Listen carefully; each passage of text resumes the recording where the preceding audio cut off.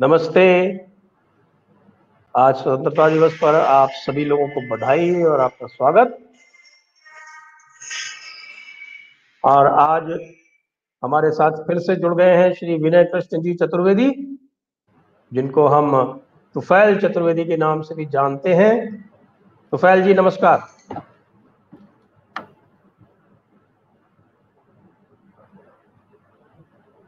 तुफैल जी, आप हमें सुन पा रहे हैं?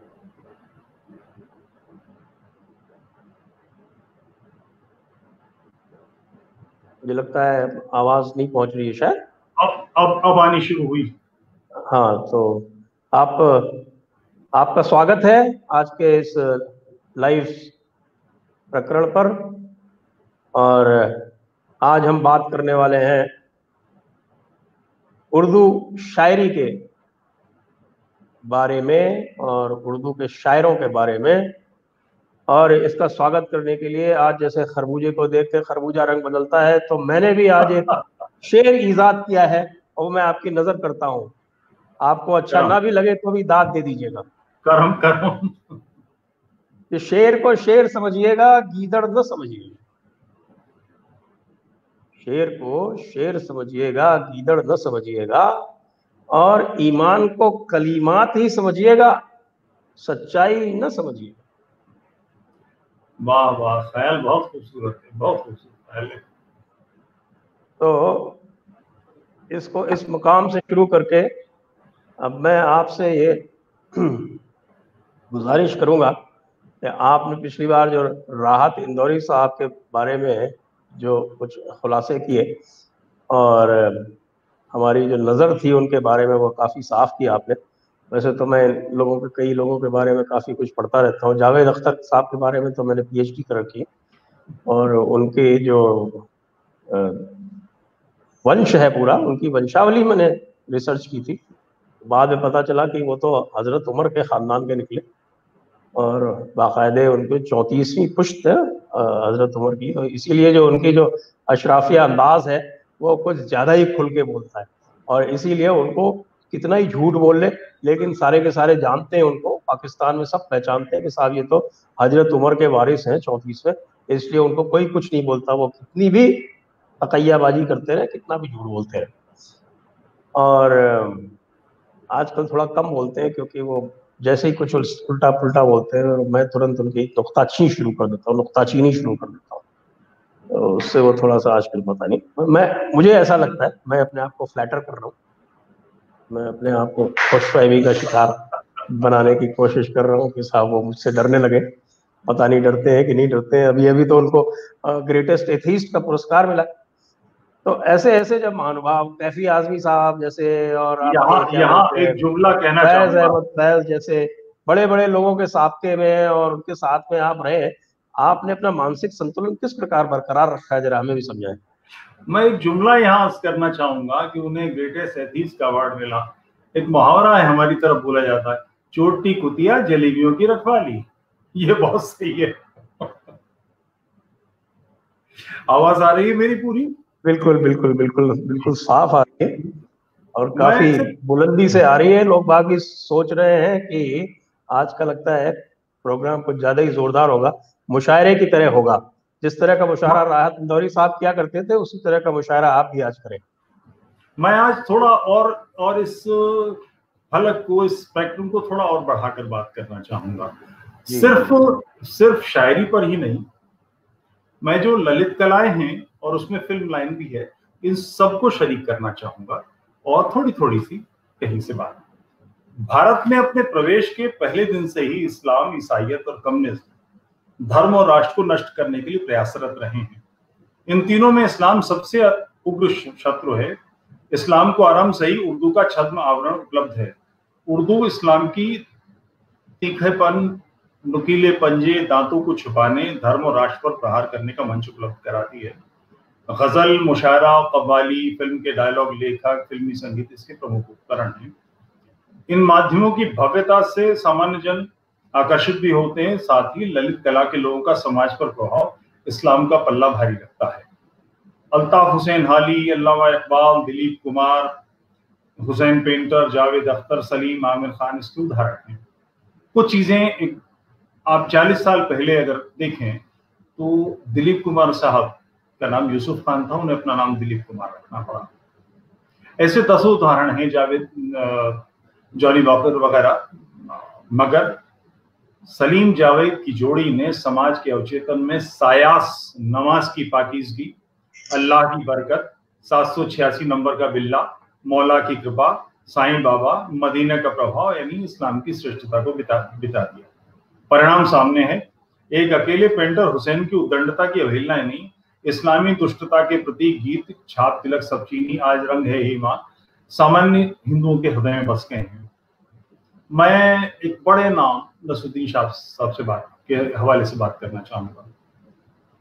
आपको नसरुद्दीन शाह साहब की वंशावली पता है? आप आप फरमाएँ। मेरे मेरे इल्म में इजाफा करें। वो एक अफगान वॉर लॉर्ड था। जी।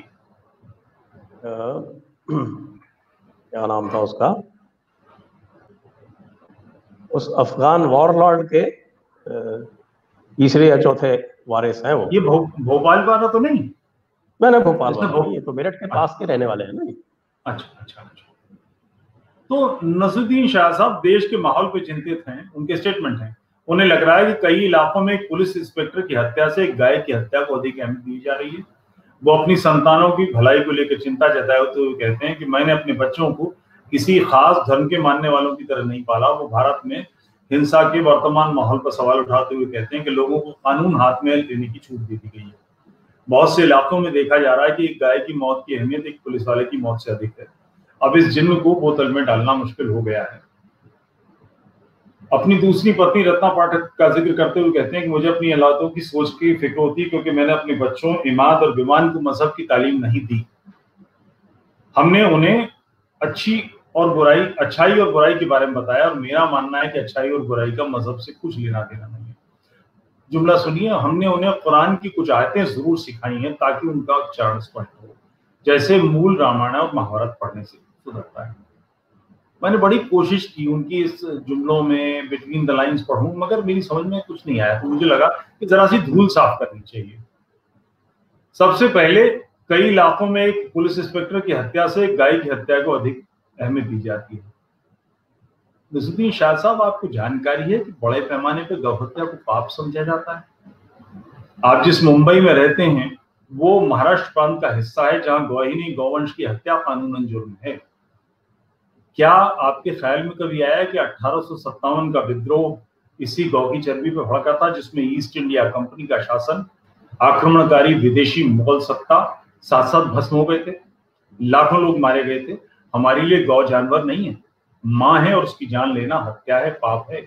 गौ की हत्या होती, गौ का वध नहीं होता। हमारे प्रतापी पूर्वज गौ हत्या करने वाले पापियों से जूझते लड़ते, उनका वध करते और अपने प्राण देते आए हैं। हरियाणा में पूज्य हरफुल जाट के गीत आज भी गाए जाते हैं। उन्होंने बूचड़ खानों पर हमला करके फसाइयों का वध किया था। ये एक तारीखी बाबला है कि हमें शर्मिंदा करने, जलील करने, अपमानित करने के लिए इस्लामी सत्ता को हत्या करती थी।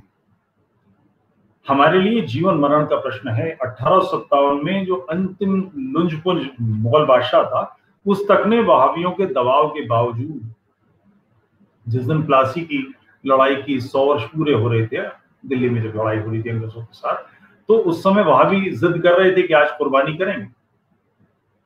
बहादुर शाह ज़फ़र ने तोपों से बांधकर उड़ा देने के आदेश दिए थे कि जो गौहत्या करे, उसे तोपों से बाँध के उड़ा दो। अठारह में हमारे पूर्वज अपने बीवी बच्चों को छोड़ के गौहत्यारों को यमलोक पहुँचाने में लग गए थे। अब आप बताएँ कि ईस्ट इंडिया कंपनी, विदेशी आत्ताई सत्ता, मुगल शासन, लाखों भारतीयों के जीवन को ली जाने वाला विप्लव एक इंस्पेक्टर के जीवन से अधिक या उसके बराबर या उससे कम महत्वपूर्ण है कि नहीं? मॉब लिंचिंग के बारे में कहते हुए कभी आपके ध्यान में आया कि 130 करोड़ के दो देश में कितनी मॉब लिंचिंग की घटनाएँ हैं? करोड़? कितनी लाख? कितनी हज़ार? कितनी सौ हुई है? क्या कोई आप जैसा चतुर आदमी दस घटनाएँ भी गिना सकता है? आप फरमाते हैं कि मुझे अपनी औलादे की बात, के बारे में सोचकर फ़िक्र होती है, क्योंकि मैंने अपने बच्चों इमाद और विमान को मज़हब की तालीम नहीं दी। हमने उन्हें अच्छाई और बुराई के बारे में सिखाया है। हमने उन्हें कुरान की कुछ आयतें ज़रूर सिखाई हैं ताकि उनका उच्चारण स्पष्ट हो सके। सबसे पहला सवाल, आपने बेटे का नाम इमाद क्यों रखा? भारतीय भाषाओं में कोई शब्द नहीं मिला? अगली बात, पता नहीं आप सब श्रोताओं की भी जानकारी में है कि नहीं कि भारत में अरबी नहीं बोली जाती। अरबी उच्चारण की आवश्यकता ही नहीं है। अरबी उच्चारण उर्दू से बहुत भिन्न है। मैं दो उच्चारण आपको बताता हूँ। ऑयन ये एन नहीं है ऑयन ये हे नहीं है, हे है। ये दोनों उच्चारण अरबी के हैं। अरबी में खा, झा, ध, छ ध थ ध। ये सारी ध्वनिया, जाने कितनी ध्वनिया बोली नहीं जाती। तो उच्चारण सिखाने के लिए कुरान की आयतें किस लिए? अरबी उच्चारण का उर्दू से कोई खास ताल्लुक नहीं है। अब वो शायद ये रत्ना शाह को समझा रहे हैं, जिससे दाम्पत्य जीवन बचा रह जाए। मगर हम लोग तो ये शहद की गोलियों, शहद से कोटेड जहरीली गोलियों को भापने के लिए ट्रेंड लोग हैं, हदीसें कुरान पढ़ी हैं। हमें तो इनसे बात नहीं बनती, हमें इनसे नहीं डाला जा सकता। अब मैं, शायरी में तीन बड़े नाम हैं। इकबाल, गालिब और मीर, हज़रत मीर तकी मीर, हज़रत गालिब और इकबाल। इकबाल का एक शेर आपको सुनाना चाहूँगा। इकबाल के बारे में ये और बताता चलूँ कि कलकत्ता विश्वविद्यालय में इकबाल शेयर बनी हुई है। भोपाल के एक नाम पर इकबाल में बिल्डिंग है, चौराहे में दसों जगह ऐसी चीज़ें हैं। उसका एक शेर है, हो जाए अगर शाह खुरासां का इशारा, सिजदा न करूँ हिंद की पाक, नापाक जमी पर। ऐसा शेर कहने वाले के नाम पर भारत में इकबाल शेर है। उसकी बहुत मशहूर नज्म शिकवा और जवाब शिकवा है। जी। बड़ी प्रसिद्ध नज्म है बड़ी तारीफें होती हैं। गैर मुसलमानों के लिए यहूदी ईसाइयों पारसियों हिंदुओं सबके लिए जहर से भरी नज्म है। मगर इस्लाम का एक स्वभाव है कि वो अपने दर्शन पर अपने चिंतन पर इतना उसे कॉन्फिडेंस है कि वो इस बात की चिंता ही नहीं करता कि दूसरों को वो कैसा लगता है। वो मानता है कि वो ये ठीक है तो वो ठीक है। ये अल्लाह से शिकवा है, अल्लाह से मुसलमान कह रहे हैं। तुझको मालूम है लिखा था कोई नाम तेरा? उब्बत बाजुए मुस्लिम ने किया काम तेरा, मुसलमानों के बाजुओं की ताकत ने तेरा काम किया। बस रहे थे यही सुल्जुक भी, तुरानी भी, अहले ची चीन में, ईरान में, सासानी भी। इसी मामूरे में आबाद थे यूनानी भी। इसी दुनिया में यहूदी भी थे, नसरानी भी। पर तेरे नाम पर तलवार उठाई किसने? पर तेरे नाम पर तलवार उठाई किसने? बात जो बिगड़ी हुई थी, वो बनाई किसने? थे हम ही एक, तेरे मार का आराओं में, तेरे लिए हम ही लौटते थे। खुशकियों में कभी लौटते कभी दरियाओं में। अब जुमला सुनिए, लोग हगिया सोफिया की जो मस्जिद है, उसको कुछ लोग कह रहे हैं कि इसने इस्लाम का नाम कलंकित कर दिया। असली इस्लाम ही ये है। दी अजाने कभी यूरोप के कलीसाओं में, कली, यूरोप की चर्चों में हमने अजाने की कभी अफ्रीका के तपते हुए सहराओं में लोग अपने तरफ़ से इस्लाम की नई शक्लें बना देते हैं। मुसलमान क्या कह रहे हैं? इसे समझिए। रामस्वरूप जी ने एक बहुत अच्छी बात कही है कि गांधी के और गांधी के चेले चाटियों के इस्लाम की व्याख्या से बेहतर है कि इस्लाम के आचार्य इस्लाम के बारे में क्या कहते हैं वो पढ़ो उससे पता लगेगा इस्लाम क्या है। ये नई नई शक्लें मत शान आँखों में शान आँखों में नजस्ती थी जहांदारों की कलमा पढ़ते थे घनी छाओ में तलवारों की। हम जो जीते तो जीते थे तो जंगों की मुसीबत के लिए और मरते थे तेरे नाम की अजमत के लिए, थी न कुछ तेगजनी तलवारबाजी। अपनी हुकूमत के लिए सरबत का फिरते थे क्या डहर में दौलत के लिए? इस्लाम का पहला नियम तोहहीद कि अल्लाह एक और मोहम्मद उसका पैगंबर है। ये दोनों बराबर की चीज़ें हैं। अल्लाह एक है, ये काफ़ी नहीं है। मोहम्मद पैगंबर, मोहम्मद को पैगंबर और आखिरी पैगंबर मानना ज़रूरी है। बिल्कुल खत्म नबूवत जिसको हाँ। खात्म नबूवत। नक्श नक्श तोहीद का हर दिल पे बिठाया हमने। जेर खंजर भी ये पैगाम सुनाया हमने। तू ही कह दे कि उखाड़ा दरे खैबर किसने? शहर कैसर का जो था उसको किया सर किसने? तोड़े मखलूक खुदा मंदों के पैकर किसने? काट के रख दिए कुफार के लश्कर किसने? यानी हिंदुओं की बात कर रहे हैं। किसने ठंडा किया आतिश कहे दए ईरान को, ईरान के जो पारसियों के अग्नि पूजकों के केंद्र थे, किसने ठंडा किया आतिश कदाई ईरान को, किसने फिर ज़िंदा किया तस्कराए यजना को, किसकी हैबत से सनम सहमे हुए रहते थे, मुँह के बल गिर के, वो अल्लाह अहद कहते थे। अब इकबाल के जो शेर हैं कि उन्होंने हिंदी है हम वतन है हिंदुस्तान हमारा। ये इस तरह से है कि साहब मैं कारपेंटर हूँ। आपने मुझसे कहा कि 11 फुट का पलंग बनाइए मैं बना दूँगा। इसका मतलब ये नहीं कि मैं 11 फुट के पलंग पे सोता हूँ। तो ये प्रोफेशनल जो काम है धंधा है आपने कहा जलेबी चाहिए जलेबी बना दी हलवाई ने आपने गुलाब जामुन मांगे गुलाब जामुन मान दिए। अब वो इसका मतलब ही नहीं कि गुलाब जामुन खुद भी खाता है। वो तो उन्होंने खुद ने ही वो तो उन्होंने खुद ने डिसोन कर दिया था ना बाद में चीनो अरब हमारा पे आ गए थे तो। जी जी। नहीं तो चीनो तो साथ ही साथ है। वो उनको लोग इस तरह से उनकी शक्लें बनाते हैं वो खुद जो कह रहे हैं वो देखिए। आज पर एक मैं देख रहा था टीवी पर एक साहब बहस कर रहे थे उन्होंने कहा कि भारत केवल हिंदुओं का नहीं है हसरत मोहानी का भी है। अब वो पढ़ा लिखा पढ़ा लिखा आदमी नहीं है। उसको हसरत मोहानी के बारे में क्या पता है कि छठी के कोर्स में शायद मैंने बचपन में पढ़ा है कि हसरत मोहानी भारत भारत की आज़ादी के लिए लड़े थे। मैंने कल दो दिन पहले आपसे कहा था मुझे केवल छह नाम। कोई बता दे जिन्होंने भारत की स्वतंत्रता के लिए मुसलमानों ने काम किया ये सारे के सारे खिलाफत आंदोलन के लोग हैं। तुर्की में खलीफा मुसलमान वापस जी? मैं आपको नाम बताऊँ? महात्मा गांधी? नहीं नहीं बकौल। बकौल उलेमा पहला नाम सिराजुद्दौला। हाँ ये दूसरा नाम टीपू सुल्तान।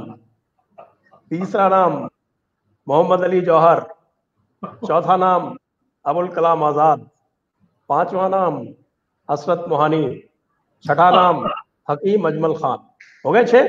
देखिए मैंने बताया। ये सारे के सारे जिहादी थे जिसका अभी आपने नाम लिया, वो क्या नाम है उसका, मौलाना जौहर का, इसकी कब्र फिलिस्तीन में है, ये वसीयत करके मरा था कि इस नापाक जमी पर मुझे मत दफन करना।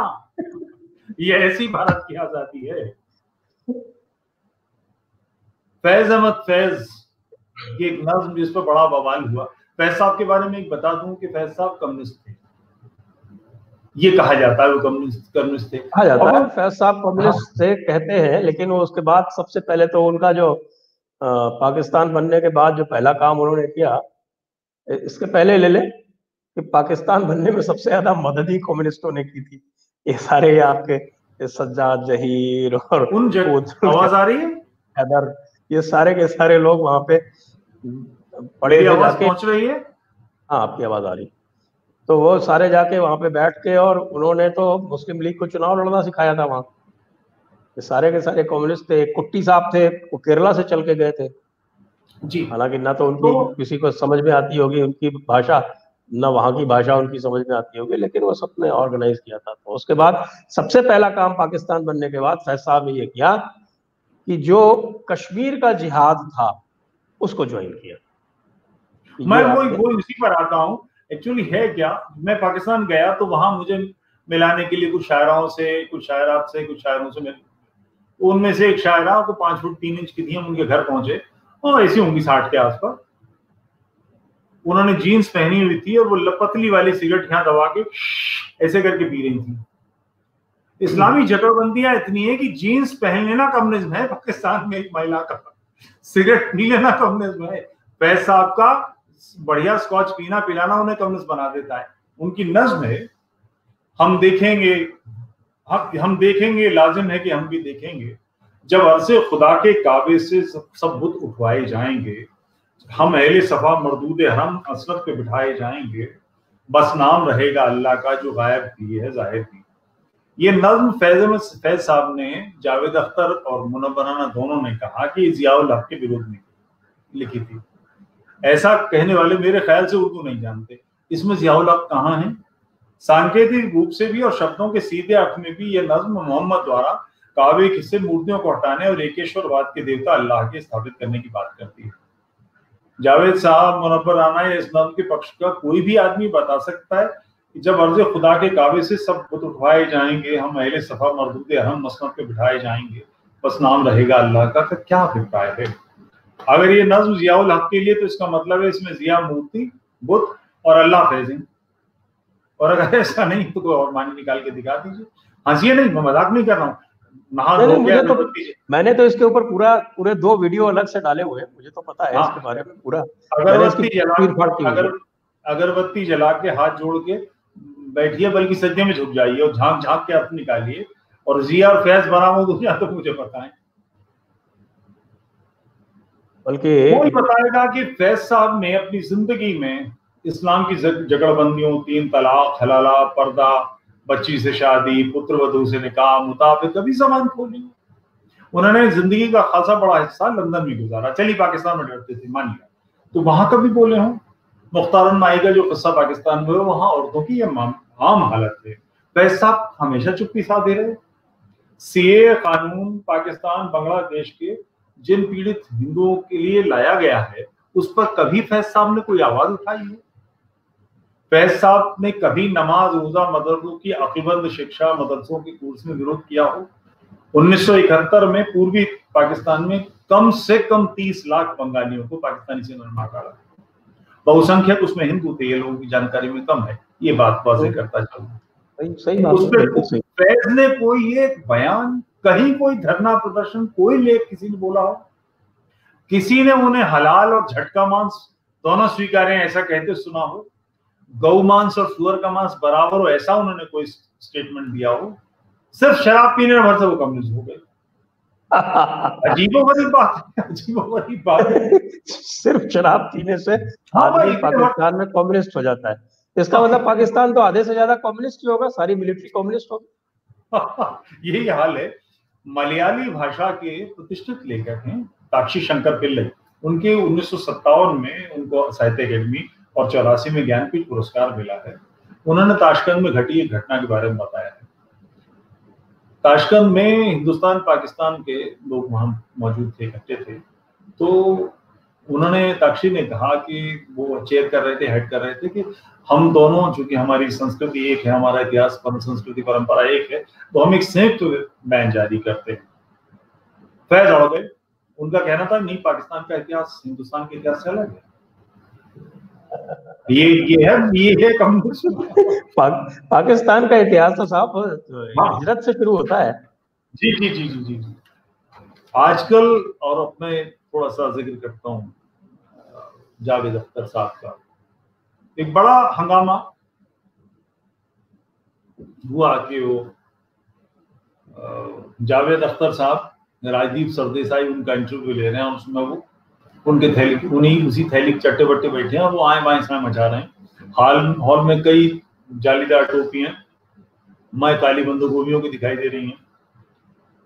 जावेद अख्तर साहब कह रहे हैं क्लेम कर रहे हैं कि मैं चीज़ हूँ। मैंने छुपा छुप कर नहीं हूँ। मैं कोई छुप के नहीं हूँ। मैं टीवी पे बोलता हूँ, अपने इंटरव्यू में बोलता हूँ।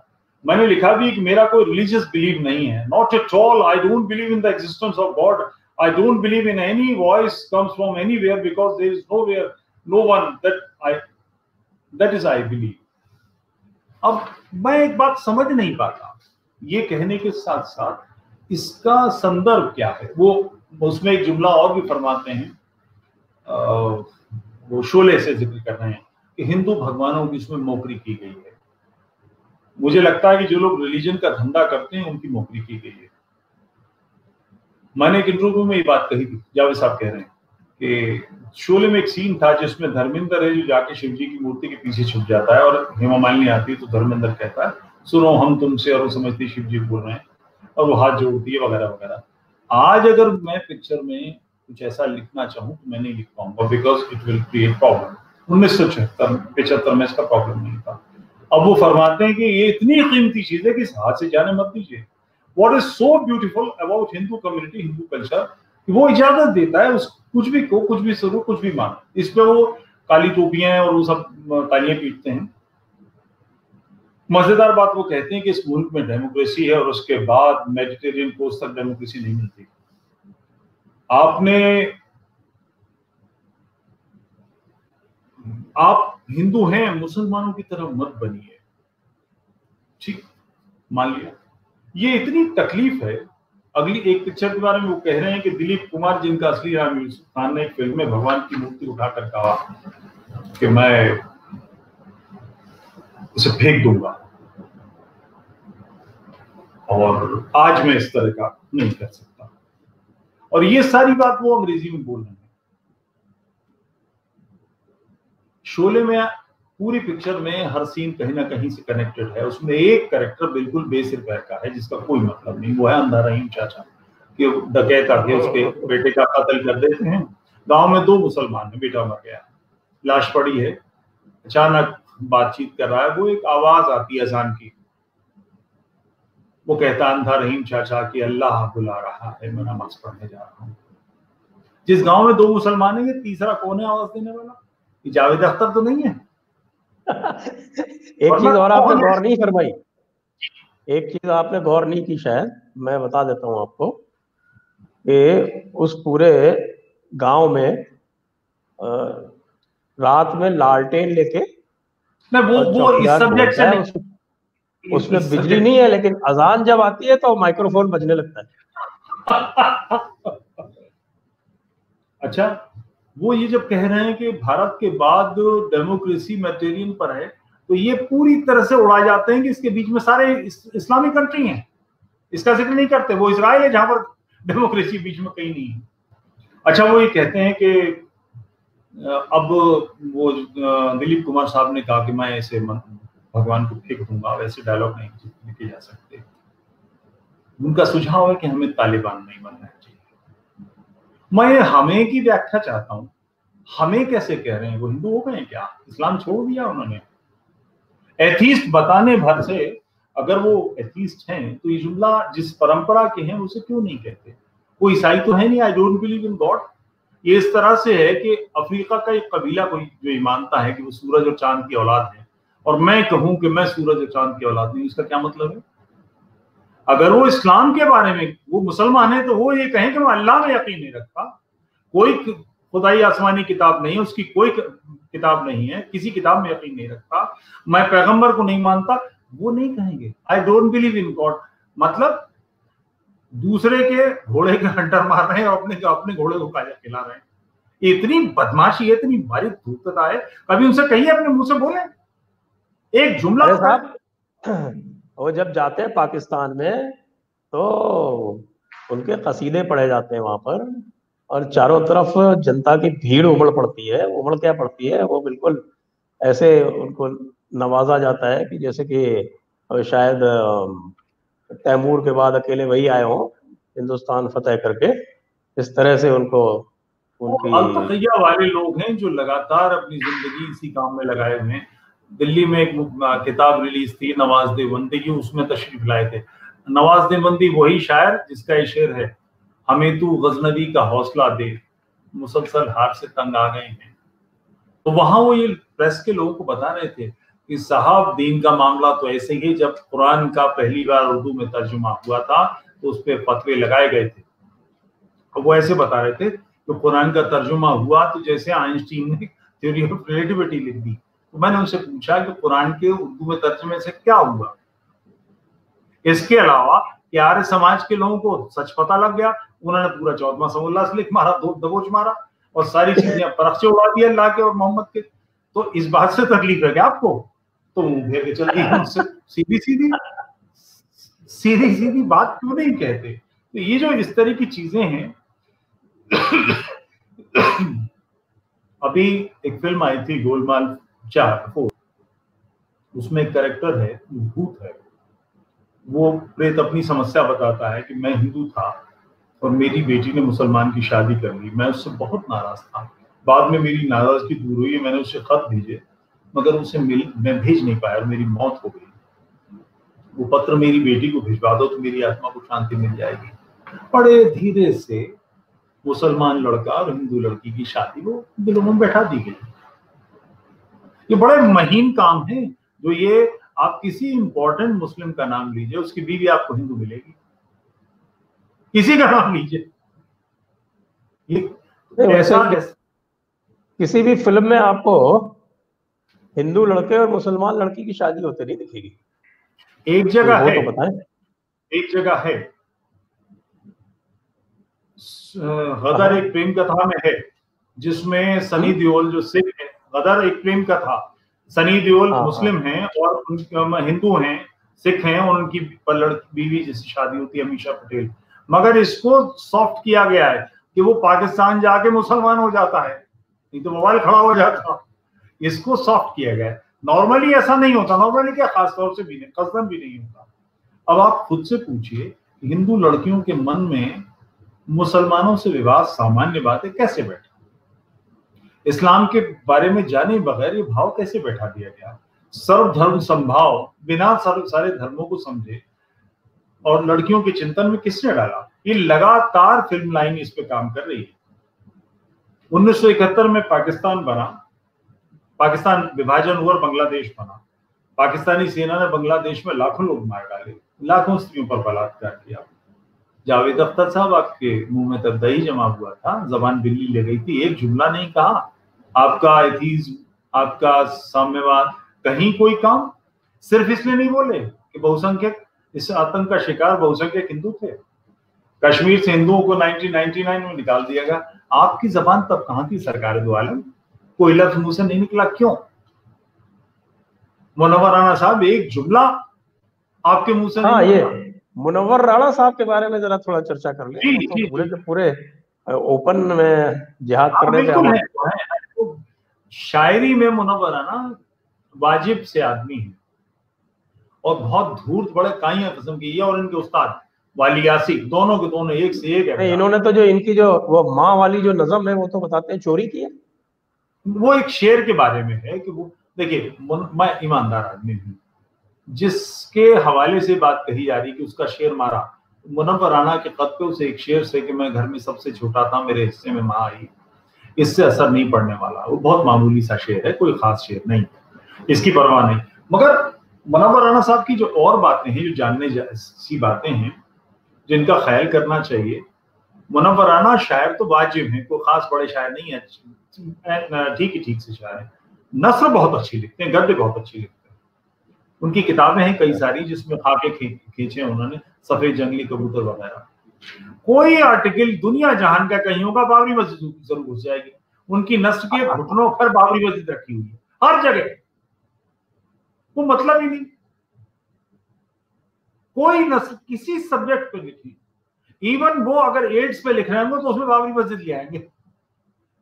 वो थेरी रिलेटिविटी को कोई बात होंगे तो उसमें बाबरी मस्जिद घूम करके आ जाएगी। अच्छा उसका कारण है बाबरी मस्जिद लाने का। हम बाहर के लोग इसको समझ ही नहीं सकते कि इस्लामी मामला क्या है। वो 24 घंटे इसी बात से भरे रहते हैं कि ये सब काफिरों की दुनिया है। इस काफिरों की दुनिया में हमें सस्टेन करना है और उसको बदलना है, इस राह रास्त सही रास्ते पर, यानी दीन के रास्ते पर, इस्लाम के रास्ते पर। तो वो मुनव्वर आना का मामला नहीं है वो जो ओरिजिनल टेक्स्ट है ये सारा कर्तव्य उसका है। अब वो तो देखिए ये तो पूरा जो अमला है और आप किसी की भी बातों में जैसे ही आप इनको छेड़ेंगे और थोड़ा सा ऊपर से कुरेदेंगे तो वो नीचे का मसला सामने आ जाता है। और ये है कि मुगल एम्पायर तो हमारी थी हमसे अंग्रेज़ों ने छीनी तो अब बादशाहत हमारी वापस आनी चाहिए। ये हिंदू काफिर ये बीच में कहाँ से आ गया?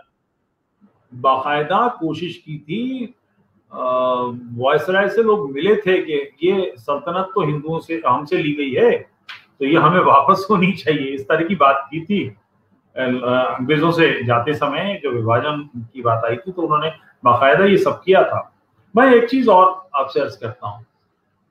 उर्दू कहानी के, उर्दू प्रोज के चार सुतून चार खंबे कहे जाते हैं। पहले किशन चंद्र दूसरे मंटो, तीसरे राजेंद्र सिंह बेदी, चौथे इसमें चप्ताई इसमें चप्ताई अद्भुत है अद्भुत है। उनकी कहानियाँ पढ़िए, ऐसी कहानी है क्या कहें क्या कहें वो उनके पति बहुत ही तेज तर्रार औरत थी, बहुत मज़ेदार, बड़ी हंसमुख, बदला संज जुमलेबाज, बंबई में थी आखिरी वक्तों में। तो उन्होंने वसीयत की, तीन बेटियाँ थी उनकी। उन्होंने वसीयत की कि मैं नहीं चाहती कि मरने के बाद मेरा बदन मिट्टी में दबे और मुझे कीड़े खाएँ मुझे जला देना जावेद अख्तर साहब की बीवी उनकी गोद खेली है। शबाना जी। हाँ शबाना माँ की तरह दिखती थी। जब उनकी डेथ हुई तो उनके जनाजे में सिर्फ़ एक मुसलमान उनके शौहर थे। सारी मुंबई की फ़िल्म लाइन जो भरी पड़ी है इस्लामियों से सबको सुन गया एक भी सिंगल कोई नहीं आया। सबका कम्युनिज्म, अली सरदार, जाफरी और कैफी, आजमी और ये वो, सबके सब मुल्ला, सबके सब मुल्ला, एक नहीं आया। इतनी बड़ी बात। कम्युनिज्म है। किशन चंद्र साहब ने निकाह किया, शादी की, विवाह किया, जो भी कहना चाहे, सलमा सिद्दीकी से। इनको मुसलमान बनाया गया। अली सरदार जाफरी साहब ने कम्युनिस्ट के बावजूद उस, उनके निकाह नामे पे दस्तखत किए हैं। नवाब महमूद आबाद ने वो निकाह पढ़ाया है। इसके बावजूद इनकी जबान नहीं गलती है, कहते हुए कि ये कम्युनिस्ट है। किधर से कम्युनिस्ट है, साहब है कौन सा ऐसा काम है? एक्चुअली है क्या? कुछ मैं कुरान की आयतें कोट करना चाहूँगा। ये नवा जो चैप्टर है, उसकी 130वीं आयत का हिस्सा है। वो मुसलमानों, तुम गैर मुसलमानों से रहो, तुम्हें उनमें सख्ती मिलनी चाहिए। दूसरी चैप्टर की एक सौ इक्यानवी आयत का हिस्सा है, और तुम उनको जहाँ पाओ कत्ल करो। आठवें चैप्टर की उनतालीसवीं आयत है, काफिरों से तब तक लौटे रहो जब तक दीन पूरे का पूरा अल्लाह का ना हो जाए। अय नबी, काफिरों के साथ जिहाद करो उन पर सख्ती करो, उनका ठिकाना जहन्नम है। नवे चैप्टर की तिहत्तरवीं आयत और छियासठवीं चैप्टर की नवी आयत। अल्लाह ने काफिरों के रहने के लिए नर की आग तय कर रखी है, नवी चैप्टर की अड़सठवीं आयत। उनसे लड़ो जो ना अल्लाह पे ईमान लाते हैं, ना आखिरत पर जो उसे हराम नहीं जानते। ये ध्यान से सुनिए, जो उसे हराम नहीं जानते, जिसे अल्लाह ने अपने नबी के द्वारा हराम ठहराया है। उनसे तब तक जंग करते, करो जब तक कि वो जलील होकर जजिया ना देने लगे। नवे चैप्टर की उनतीसवीं आयत।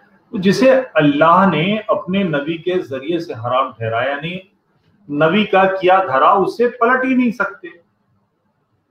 जब उसे पलट ही नहीं सकते तो एथीस्ट होने का मतलब क्या? I don't believe in not God क्यों करे ये क्यों नहीं कहते मैं नबी को नहीं मानता अल्लाह को नहीं मानता? ये बोलो। तो मुँह तब मुँह में दही जम जाएगा एक मिनट में जिससे बिल्कुल जाने का खतरा हो एक जुमला ना बोले। दूसरे बड़े शौक से बड़े शौक से एथीस्ट का अवार्ड ज़रूर ले लेते हैं कि मैं एथीस्ट हूँ। दूसरे के घोड़े के में तो वो ये जो पूरा माहौल है गज़ल का ही नहीं उर्दू का ही नहीं जहाँ जहाँ इस्लामी मुसलमान शरीक हैं वहाँ वहाँ ये मामला कहीं ना कहीं अच्छा और आम मुसलमान ऐसा नहीं है। आम मुसलमान बहुत बार बहुत सभ्य होता है।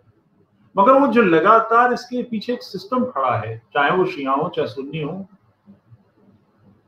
ये तो ये तो अशराफियों की ये तो अशराफियों की खासियत है साहब ये तो मैं तो कल भी मेरी बात हो रही थी आपके आरिफ आजकिया साहब से इसी तरह से लाइव था कल और मैंने उसके सामने एक सवाल पेश किया कि भाई आप तो ये बताएँ कि ये जो सारा का सारा जो अशराफिया क्लास है ये सन 1900 तक तो आम मुसलमान को अपने पास फटकने तक नहीं देता था।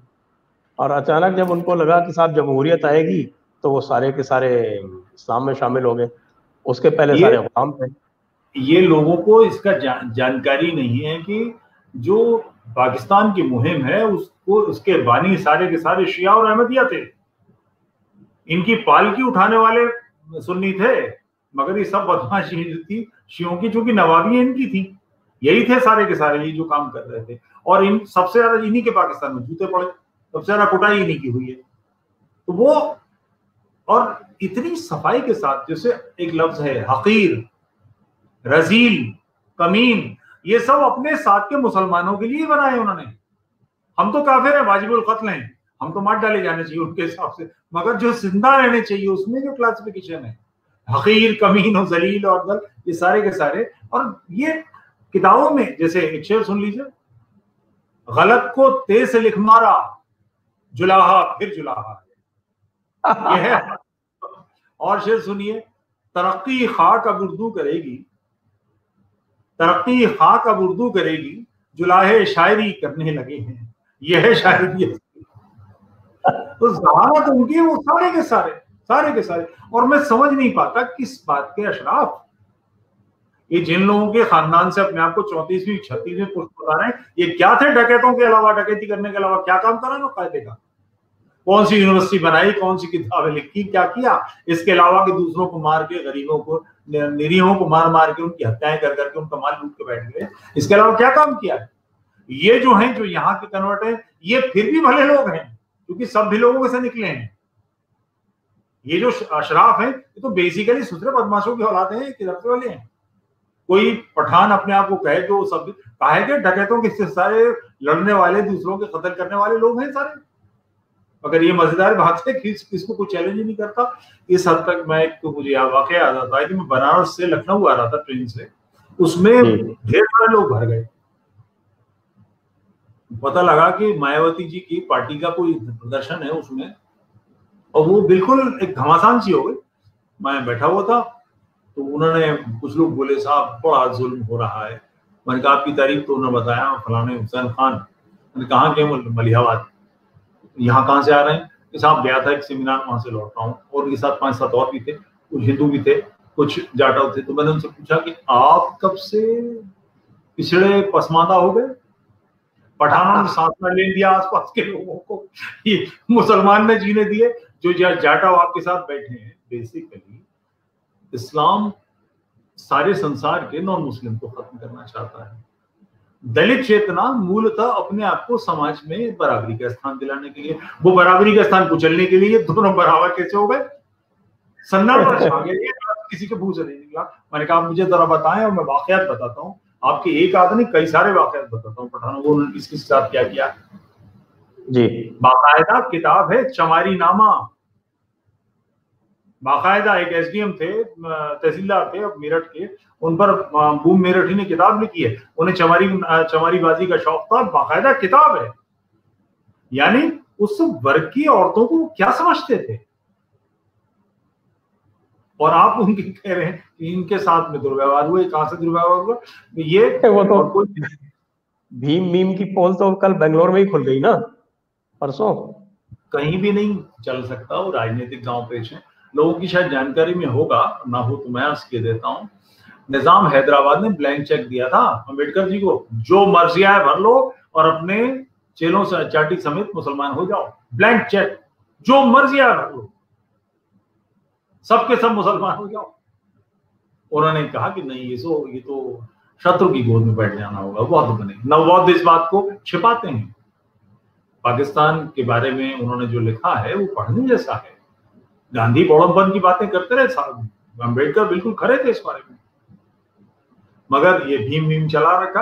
ये सब इन्हीं लोगों का काम है जो ललित कलाओं अच्छा देखिए, अगर आप कवि हैं तो आपके साथी जो और मित्र हैं, उनमें जरा सा आपका कद ऊपर हो जाता है। आप पेंटर हैं, आप म्यूजिशियन हैं, आप शायर हैं तो थोड़ा ऊपर हो जाते हैं। ललित कलाएँ आपका कद बढ़ा देती हैं। वो टूल बन के काम करती है। रेख्ता, संजीव सराफ साहब चलाते हैं दिल्ली में, वो हिंदू व्यापारी हैं, मोटे पैसे वाले हैं। संजीव सराफ का इस समय रुतबा उर्दू दुनिया में, पाकिस्तान, हिंदुस्तान, दुबई, सारी जगहों में बिल्कुल अल्लाह जैसा है, जहाँ जाएँगे लोग बिल्कुल पलकों में सराफ सराफ सराफ मेरी, मेरे से दोनों छोटे हैं, वजह कि वो उर्दू की वापसी का ज़रिया बन गए। यानी छिपे हुए इस्लाम को उन्होंने सपोर्ट कर दिया। जो बड़े सीनियर लोग हैं, बिल्कुल दूर से और माहौल इतना खराब है कि अभी दो साल पहले उनके सेमिनार में तारिक फतेह साहब किताबें लेने गए थे पाकिस्तान के उन पर हमला हुआ। पुलिस ने बचाने की कोशिश की उनको मारा पीटा गया। हाँ, उर्दू का ये माहौल उर्दू का ये माहौल है। और एक आदमी वहाँ नहीं खड़ा हुआ उनके पक्ष में तो उनको उनको बचाने की कोशिश करता। अगर पुलिस नहीं होती तो मार मर जाते ये बुरा हाल होता। लोग इसको नहीं समझते। अब सराफ साहब को मज़ा आता है। कि साहब उनको लोग उठाए उठाए कर रहे हैं तो उनका उनकी जगह पर गया अदरवाइज़ नहीं जी वो तो ठीक है वो रेखता का जो शुरू में जो जुनून था वो तो अब नहीं है। कुछ तो हमारे जैसे लोगों ने भी उसके साथ विद्रोह किया शुरू शुरू में हम भी शामिल थे उसमें क्योंकि मैं भी उर्दू पढ़ लिख लेता हूँ ठीक ठाक। तो मैं मैं भी उनमें था और मेरा जो था एक मैं ये कहता था भाई कि ये इसमें काफ़ी अच्छी चीज़ें हैं तो इसको अगर आपको लोकप्रिय बनाना है तो अपने को देवनागरी स्क्रिप्ट इसमें यूज़ करना चाहिए। वो देवनागरी स्क्रिप्ट यूज़ करने को तैयार नहीं उनको तो जब तक अरबी और फारसी गुलामी नहीं करें तब तक वो अशराफ कैसे? वो तो उनको तो अपनी जो अशराफिया तबीयत है वो दुरुस्त रखनी है। अशराफिया तबीयत दुरुस्त तभी रखी जा सकती है जब तुर्किस्तान से हो जब उनका ताल्लुक जो है वो अगर अरब और फारस से नहीं हो तो कम से कम तुर्किस्तान और अफ़गानिस्तान से तो हो ही। तो मतलब सिंध के इस पार आते ही तो वो काफिर हो जाते हैं। इसलिए उधर अशराफियों का ये मिजाज बहुत बड़ा है और जितने भी नए नए सारे आपके ये मौलवी मौलाना जितने बनते हैं, वो कोऑप्ट हो जाते हैं, वो भी अशराफ बन जाते हैं। और उसके बाद सारे अशराफ मिलके जो है, वो पूरे जितने हैं, उनको सबको बताते हैं कि भाई देखो तुम अकल का इस्तेमाल करना तुम्हारे लिए हराम है, ऐसा लिखा हुआ है। और अबू हनीफा साहब कह रहे हैं, तकलीद है यहाँ पे। तकलीद का मतलब ये है कि तुमको अकल का इस्तेमाल नहीं करना है, अकल का इस्तेमाल सिर्फ़ मुफ्ती साहब कर सकते हैं। तो ये तो अशराफियों ने अपना ऐसा जाल फैला रखा है कि मैं तो ये मानता हूँ कई बार, मैंने कहा भी है कहीं भी कि कम से कम इससे तो जाकिर नायक ठीक है, कम से कम सच तो बोलता है। ये बात है। पाकिस्तान के जो टुकड़े हुए बांग्लादेश बना वो इसीलिए तो बना बंगाली बेसिकली एक भारतीय जबान है, हिंदू जबान है। मौलाना ये जो क्या नाम मोहम्मद अली जिना जब पहली बार ढाका गए थे तो उन्होंने ढाका यूनिवर्सिटी में इस बात की तारीफ़ की कहा कि वो यहाँ की जबान तो उर्दू ही हो सकती है। मौलाना मौदूदी जो मौलाना मौदूदी हो गए थे साहब ढाका के वही हाँ, वही वही इस पर खूब झमेले हुए मारे गए लोग उसमें। मौलाना मौदूदी ने भी उर्दू की हिमायत की तो वो तो उनके पास पहुँचना मुमकिन नहीं था मगर मौदूदी मार में थे। उन्हें जूतों का हार पहनाया लोगों ने तभी तो उनको मुँह काला करा। मौलाना मौदूदी बहुत बड़ा नाम है बहुत बड़ा नाम है हाँ, अगर उसकी उसकी मुस्लिम ब्रदरहुड के को फाउंडर है वो। हाँ बिल्कुल। असरार हुसैन वगैरह सब उन्हीं की चेले चाटी हैं जाके उसी की पलटन पलटन का आदमी है उसी का भी याद है तो वो उनको जलील होना पड़ा इस बात में कि नहीं अगर बंगाली अड़ गए कि नहीं, बंगाली तो ये नहीं चलेगा। उर्दू उर्दू नहीं चले थे हम किसी की नहीं बोले तो ये हुआ। तो बहरहाल, जितनी फाइन आर्ट्स में जहाँ जहाँ बल्कि जिस जगह कोई आदमी है, मुझे एक चीज़ ध्यान आती है, हम लोग यहाँ दिल्ली, नोएडा में म्यूज़िक के बड़े प्रोग्राम करते रहे, हमारी सोसाइटी है। और पंडित जसराज बेगम परवीन, सुल्ताना चौरसे जी, हमारे छह चार छह छह बार आए तो एक प्रोग्राम के लिए हमें स्पॉन्सरशिप ओ ने दी तो हमने उनसे कहा कि जीएम और उससे अब के लोगों के टेलीफोन नंबर दे दीजिए। हम उन सबको एसएमएस कर देंगे कि कार्ड कहाँ तक बांट के फिरेंगे। तो हमने एसएमएस करवा दी। वो जमाना था जब एक साथ एसएमएस जा सकते प्रोफेशनल ढंग से। आजकल तो सौ से ज़्यादा एसएमएस भेजे भी नहीं जा सकते। भेज दिए। तो दो घंटे बाद हमें किसी का पलट के फ़ोन आया। कोई साहब जीसी से बोल रहे थे, वो जीएम या उससे ऊपर के साथ थे। और उन्होंने कोई मुस्लामी नाम बताया और उन्होंने कहा मुझे एस एम एस क्यों भेजा? कहा ऐसे ऐसे आपकी कंपनी ने स्पॉन्सर किया है तुम सबको इन्फॉर्म करें। बोले नहीं मैं मुसलमान हूँ मेरे लिए तो संगीत कुफर है आप मुझे ना भेजिए ओ एन जी सी बैठा सरकारी कंपनी में वहाँ कुफरी मान ज़िंदा है उसका। इतने सारे उदाहरण है मेरी अपनी जाती ज़िंदगी में मुझे हैरत होती है कि ये लोग कैसे चल पाते हैं मगर है वो बैलेंस किए हुए हैं उस दिन तक के लिए जब वो पाकिस्तान बनाने के लिए तादाद में हो जाएँ या ताकत में हो जाएँ विप्लव कर सकें और उसके बाद हम बचाएँ। वो तो अगर आप पूरा देखें तो अंबेडकर साहब ने कहा ही है कि साहब की Muslim politics in India is basically gangsters method of politics ये अंबेडकर साहब कह रहे और उन्होंने कांग्रेस को भी बता दिया। वो कह दिया कांग्रेस को जो है वो समझ नहीं आता कि अपीजमेंट और सेटलमेंट में फ़र्क क्या है। वो जो है बेहूदी मांगे अपनी करते रहते हैं आप उनको अपीज करते रहते हैं और ये साइकिल चलता रहता है। आपको यही नहीं पता कि कहाँ पे रुकना है कहाँ पे अपीजमेंट खत्म करना है। यही करते करते आपने देश के दो टुकड़े करा दिए उसके बाद भी अपीजमेंट आप चालू की हो उसके बाद भी आपकी हिम्मत नहीं पड़ती है कहे कि बस दस फार एंड नो फर्दर ये कहने की हिम्मत नहीं पड़ती। आपके दंगाइयों पर आपने ये हालात पैदा कर दिए हैं कि दंगाइयों पर पुलिस गोली चलाते डरती है। इससे तो अंग्रेज़ों के जमाने में गोली तो चला देते थे डायरेक्ट दंगाइयों की हिम्मत नहीं पड़ती थी कि जाके कहीं के पुलिस के ऊपर हमला करें। इधर उधर जहाँ कोई काफिर मिल जाते थे उनके ऊपर कर लें अपनी तलवारबाजी तो कर ले लेकिन पुलिस के ऊपर नहीं जाते इससे कर सकते थे। चौरी चौरा में कर दिया तो अगले दिन गांधी जी ने तुरंत वापस कर लिया। उनको कहा था पता चल गया कि अब मार पड़ेगी अंग्रेज़ों की। चौरी चौरा का जो वाक़ है ना जिसको बताया जाता है कि साहब उनका दिल बहुत पसीज गया तो उनका दिल जब हज़ारों लोग मारे गए मतलब आपके मपल्ला दंगों में और मालाबार में तब दिल नहीं पसीजा। लेकिन छह पुलिस वाले मरते ही दिल पसीज गया। एक बात तो कहने की बात है। यहाँ वजाहत कर दूँ एक बात स्पष्टीकरण कर दूँ। वो छह के छह लोग इस्लामी थे बनने वाले पुलिस वाले। ये बात बिल्कुल इतिहास से वाइप आउट कर दी गई। बिल्कुल वाइप आउट कर दी गई। छह के छह इस्लामी थे। ये नहीं है लोगों की जानकारी और भी एक आध घटना बताता हूँ। उन्नीस में विभाजन हो गया। मजाज लक्ष्मी यही थे। कैफी आजमी यही थे। कैफी अपने आप को समाजवादी कहते थे। कैफी की नज्म अगली ईद पाकिस्तान में हिंदुस्तान से पूरी तरह से उर्दू की लिटरेचर साफ़ कर दी गई। पाकिस्तान में जो उनकी किताब छपी उसमें है। ये सारे के सारे अगली ईद पाकिस्तान में। सारे के सारे हाँ जी कैफी आजमी साहब कह रहे हैं अगली ईद पाकिस्तान में। जी जी नज्म है उनकी। सारे के सारे। जिसका नाम लेंगे सब के सब एक भी कोई ऐसा उदाहरण नहीं है। कम्युनिस्ट पार्टी में, कम्युनिस्ट पार्टी ने अपने कार्ड होल्डर्स को मुस्लिम लीग में भेजा। सब मुल्ला बन गए, एक भी ना रहा कम्युनिस्ट, एक भी, नॉट ए सिंगल वन। बनने भाई, देश एंड दैट सब के सब। और उसके बाद हिंदुस्तान ने फिर वापस ले लिए, नेहरू जी की कृपा थी, उनको फिर वापस ले लिया। मगर एक बड़ा शुभ लक्षण है। बंगलौर के दंगे से।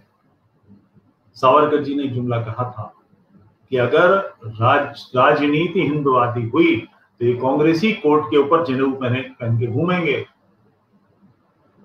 कांग्रेस का आदमी, उसका भांजा इस बहस को लड़ रहा है। जिस पर दंगा हुआ है, वो कांग्रेस के लोग हैं। अब वो भाजपा के हाथ से लीड लेना चाह रहे हैं। ये एक श्रेष्ठ श्रेष्ठ लक्षण है। इस देश में राष्ट्रवादी राजनीति हो। अब हम जो है दर्शकों से अनुरोध करना चाहते हैं कि भाई आपके जो सवाल हों वो अब आप तुरंत तुरंत भेजें क्योंकि अब समय काफ़ी हो चुका है। वो तो फैल जी से अनुरोध करेंगे कि एक दो और इस तरह के कोई चुटीले वाक्य सुनाएँ और उसके बाद फिर हम सवालात ले लेते हैं। सवाल सवाल पूछे डायरेक्ट बीच में कुछ आएगा तो मैं अर्ज़ करूँगा। हाँ, सवाल अभी और आ रहे हैं। अब तक कोई और चीज़ हो तो और थोड़ा सा मैं फाजली साहब के बारे में बता दीजिए। अरे साहब निदा निदा फाजली साहब मैं बंबई गया था तो उन्होंने मुझे अपने नाश्ते पर इनवाइट किया। उनकी पत्नी पत्नी तो नहीं कहेंगे उन्हें क्योंकि शादी तो नहीं हुई थी। अब शादी के बगैर जो औरत रहती है उसे क्या कहते हैं? आप आप बेहतर समझे। मालती जोशी नाम की उनकी वो थी और उनसे उन्होंने एक बिटिया पैदा की जिसका नाम तहरीर रखा। छोटी सी थी, मुझे नाश्ते के लिए बुलाया, मैं गया उनके घर पर। तो वो बड़े शकवा कर रहे थे कि बहुत बुरा हुआ। पंजाब में नई पीढ़ी बिल्कुल खत्म कर दी गई। जो उग्रवाद पाकिस्तान मैंने कहा तो पाकिस्तान जिम्मेदार है उसके लिए, पाकिस्तान ने उसको फंडिंग की, उसने उकसाया। वरना सिखों के बीच में कहा झंझट। और इसलिए कि पंजाब में जो उग्रवाद है, वो हिंदुओं के खिलाफ तो एक भी नहीं। जैसी दिल्ली में इंदिरा गांधी की हत्या के बाद दंगे हुए, कानपुर में दंगे हुए और दंगे हुए।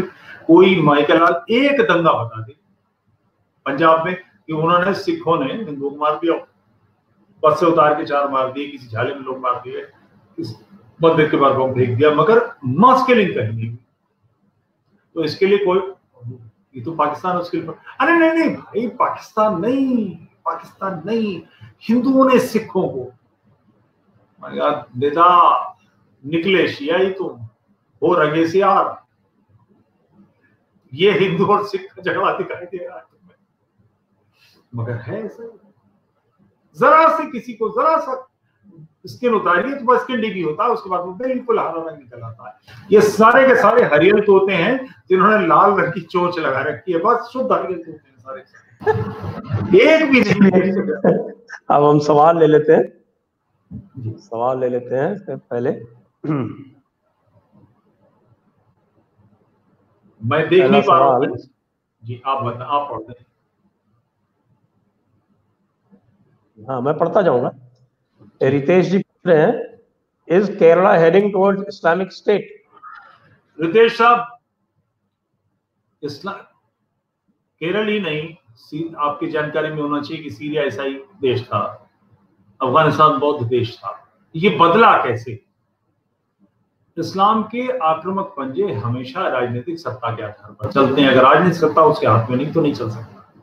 वहाँ है क्या कि कांग्रेस हिंदुओं की पार्टी बन के रहती है और कम्युनिस्ट इस्लामी की पार्टी बन गए हैं और इस्लाम वहाँ पर, वहाँ कम्युनिस्ट राज कर रहे हैं। राजनीतिक सत्ता हाथ से छीन लीजिए, भरभरा के गिर जाएँगे। कोई सिस्टम नहीं चल सकता।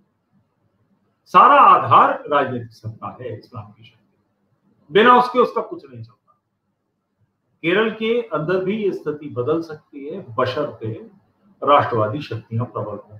दुर्भाग्य है कि भारत में जो राष्ट्रवादी शक्ति कही जाती है, यानी भाजपा और आरएसएस और सबकी बात कर मैं स्वयं उसी का हूँ, मगर वो ईमानदारी से राष्ट्रवादी नहीं है, वो कांग्रेस की बी टीम है। वो भी दृढ़ता से काम नहीं करती। इसलिए हमारे पास कोई बहुत अच्छे विकल्प नहीं है। मगर जैसे आज का स्पीच थी, मोदी जी की, कुछ लोग निकाल रहे हैं कि वो भगवा पगड़ी उन्होंने पहनी और यूँ बोला यूँ बोला। जैसा भी हो, ठीक है। मगर कोई बहुत बड़ी राष्ट्रवादी सोच मुझे दिखाई नहीं देती। फिर भी समाज का दबाव। मोदी जी इस समय प्रधानमंत्री के कैंडिडेट बने। उस समय ना तो बीजेपी चाहती थी उनको कैंडिडेट बनाना, ना आरएसएस चाहती थी। किसी के मन समाज का आपके मेरे दीक्षित साहब जैसे ऐसे लोगों का दबाव था उनको लगा कि अगर इसको सामने नहीं लाएँगे तो गड़बड़ हो जाएगी। और इसको लाएँगे तो प्रभाव पड़ेगा एकदम से लहर गई, हिलोर गई। के बावजूद देश में बत्तीस तैतीस परसेंट वोट तो मिले जो टोटल कास्ट हुआ, उसके बत्तीस तैतीस परसेंट। ये तादाद बढ़े, केंद्र में, प्रदेशों में बड़ी शक्ति में कांग्रेस या कम्युनिस्टों के विरोध की शक्तियाँ प्रबल हो जाएँगी तो बदल जाएगा, निश्चित बदल जाएगा, निश्चित बदल जाएगा। बिना राजनीतिक सत्ता के नहीं जी सकता। अगला सवाल, मुस्लिम व ईसाई हिंदू का धर्मांतरण क्यों कराते हैं? डीपीएस जादव पूछ रहे हैं। अगर स्वयं को एड्स हो जाए तो क्या ज़रूरी है कि दूसरे को अपनी सुई चुबाकर उसे भी एड्स दिया जाए? आठ राज्य हिंदू माइनॉरिटी हैं। अगले सेंसस में और भयावह हाल होगा। हाँ जादव साहब, एक बात तो आपको समझनी पड़ेगी। इस्लाम जो दर्शन है, उस पर मैंने थोड़ी सी बात की है।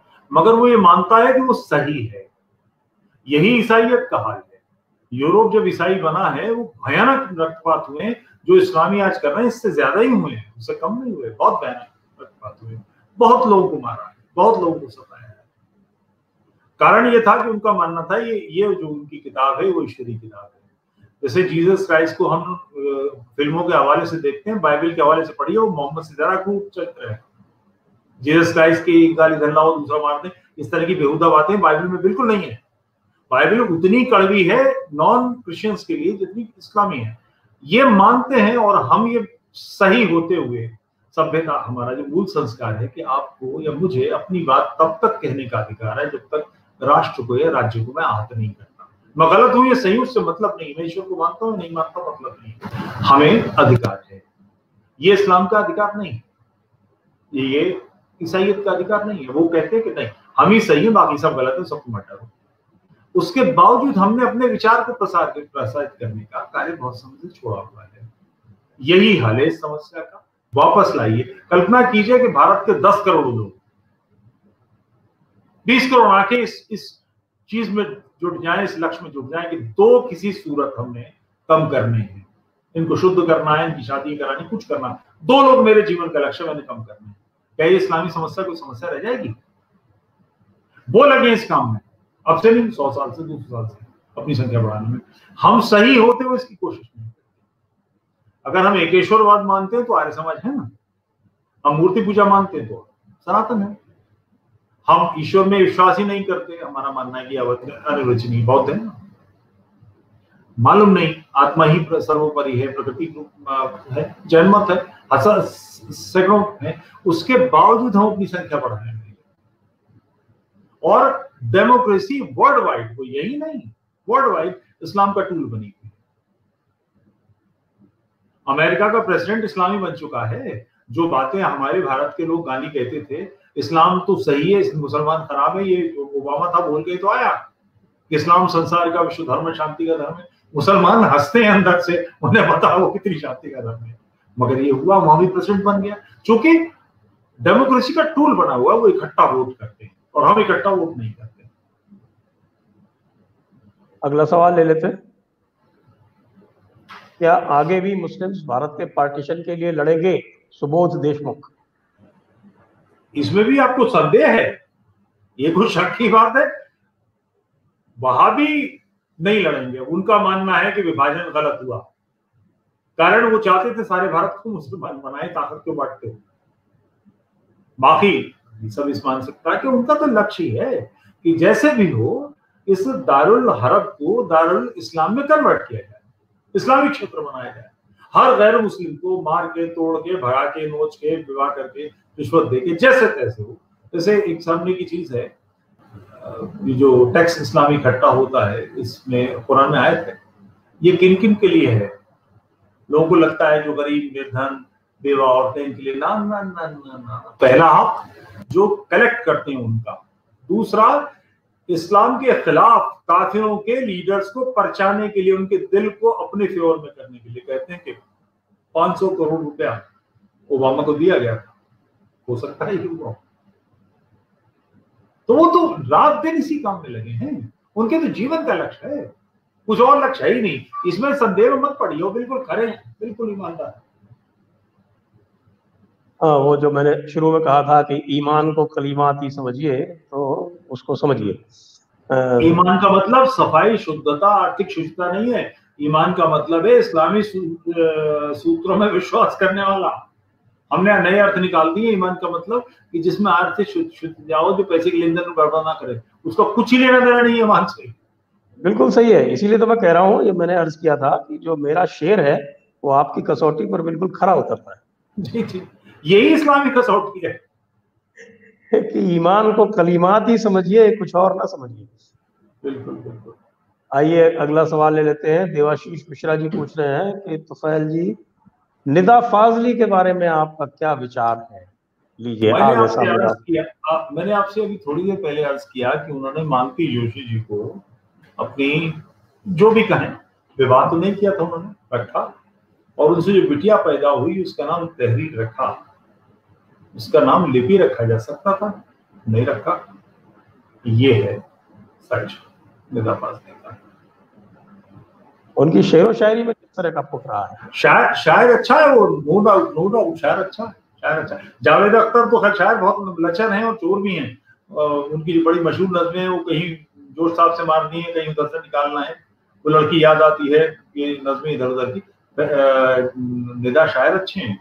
मगर इस्लामी बेसिकली उसका कारण यही है कि उसकी सोच ये होती है कि इस्लाम सही है, बकिया सब गलत है। वो कम्युनिस्ट हो जाए, तब भी इस्लाम को समझता है कि इस्लाम बेसिकली कम्युनिज्म की प्रारंभिक शक्ल है, वो ये तक दिन लगेगा।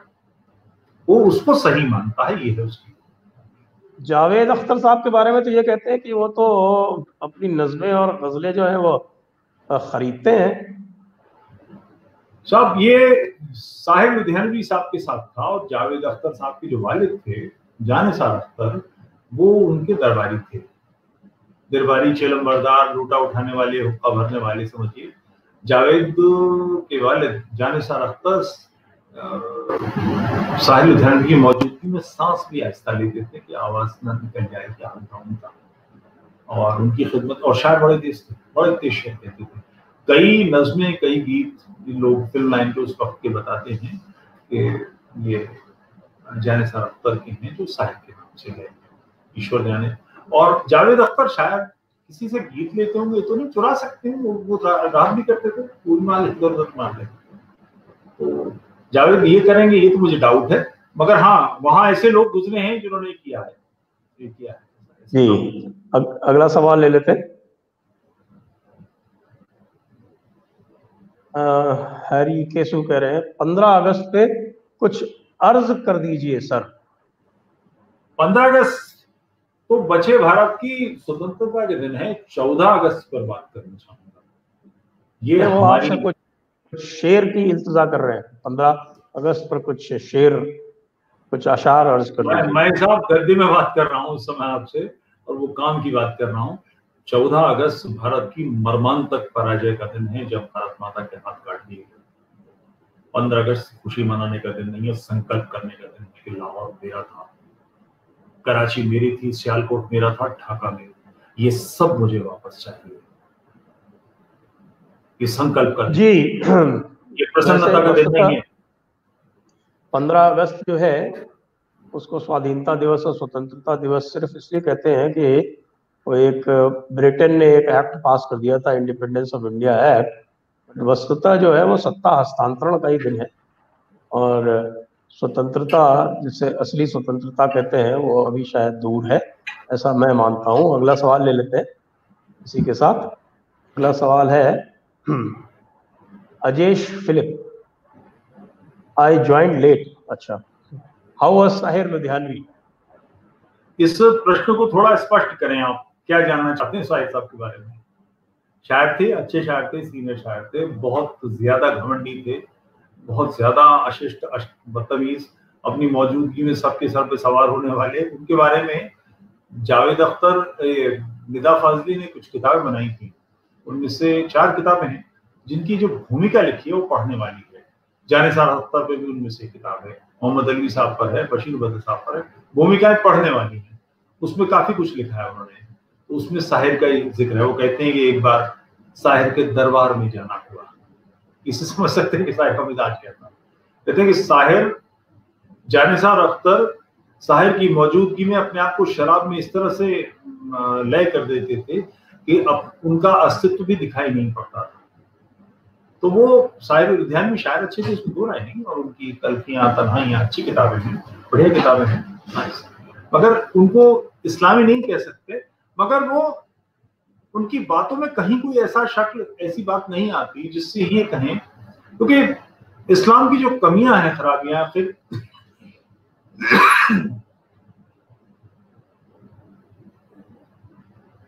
औरतों को पीटने की आयत है कुरान में, उस पर ये जो कम्युनिस्ट हैं उस पर कभी कुछ क्यों नहीं बोलते?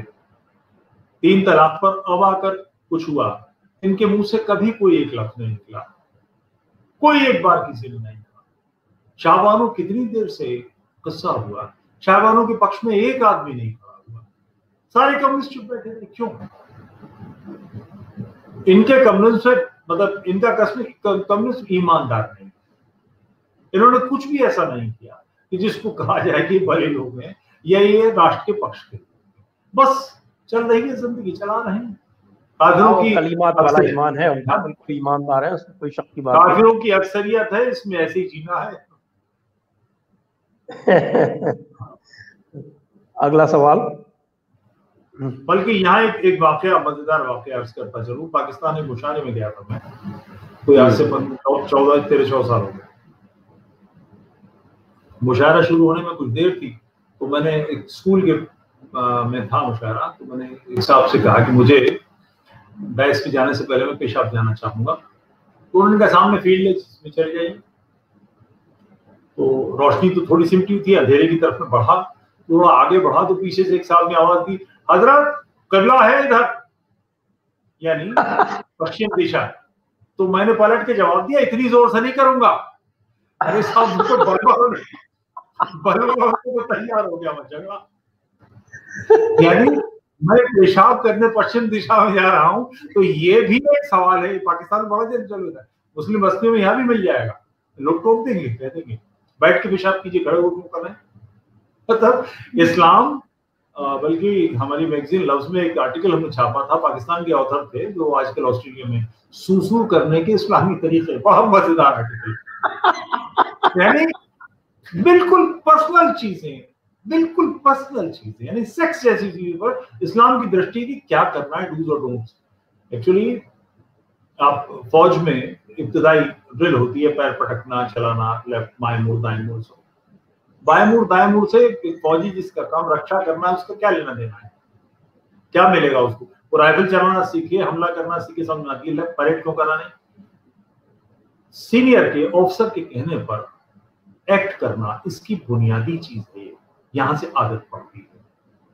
ये जो डूज और डोंट हैं डोंट्स हैं इस्लाम के, ये बेसिकली मन से खुला मनाते हैं। हर लम्हा मुसलमान को लगता था कि मुझसे कोई गलती ना हो जाए। पखाना जाए तो पहले दाया पैर जाना चाहिए, सर पे ये टोपी हो और ये कर्मा पड़ा जाए और दाएँ हाथ पैर धुले फिर पाया हो और बाहर निकले तो पहले बाया हो पैर रखा जाए। हर चीज़ में खाना खाएँ तो तीन उंगलियों से खाएँ और उसके बाद उंगलियों को चाटें बाएँ हाथ से पानी ना पिए इससे शैतान पीता हर चीज़ में इस्लाम की कुछ ना कुछ ज़िंदगी का कोई हिस्सा ऐसा नहीं है जिसमें इस्लाम ना दाखिल हो। कारण ये है कि लगातार आपको टोका टाकी होती रहेगी तो आप कंधा के हथियार शादीशुदा आप लोग हैं, समझ सकते हैं। बीवी लगातार प्रेशर डालती रहती है। एक एक चीज़ के लिए लगातार लगातार, ज़िंदगी भर एक हाथ आके मुझे हाथ जोड़ दो, भैया, जो कहे तुम्हारी मान ली वो वाला हाल इस्लाम का एक टेक्निक है। पूरी तरह से ज़िंदगी के हर शोबे में, हर चीज़ में घुसा हुआ है। और उसका परिणाम एक मुट्ठी बन जगह बन समाज है ये उसकी और ये सारे उसी के लोग हैं वैसे ही जीते हैं। इतना की शराब पी ली इसलिए हम उसको ऐसे वाले लोग अगला सवाल गौड़ साहब पूछ रहे हैं B K Gaur.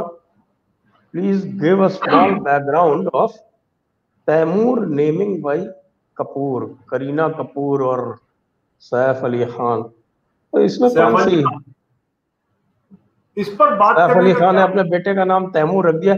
अगला बेटा होने अगला बेटा होगा तो उसका नाम बाबर रखेंगे उसकी क्या खास बात? वो अपने आप को जिस परंपरा से जोड़ते हैं आखिर नसुद्दीन खान ने शाह ने अपने बेटे का नाम इमाद क्यों रखा?